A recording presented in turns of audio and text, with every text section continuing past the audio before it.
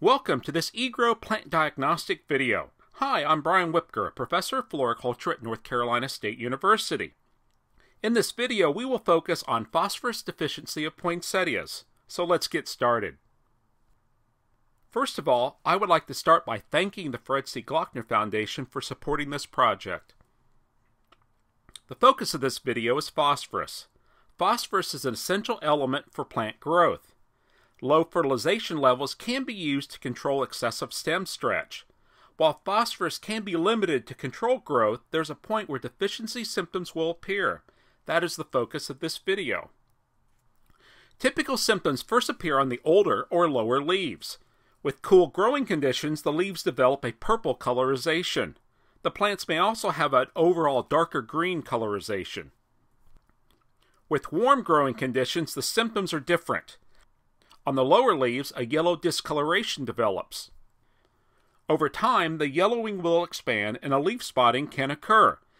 Many of the leaf spots also have a dark green center. With severe symptoms, the yellow areas can turn necrotic. Similar symptoms were observed with these plants grown in an experiment when phosphorus was withheld. As you can see, the lower leaves are yellow and there's also the spotting that's occurring. If you have problems with phosphorus deficiencies, what do you do? The simple answer is to increase the phosphorus fertilization rate. This can be done with a single application of 20-10-20. For example, if 200 parts per million nitrogen is applied, that will provide 44 parts per million phosphorus. For continuous fertilization, a low phosphorus formula such as 13-213 CalMag can also be used.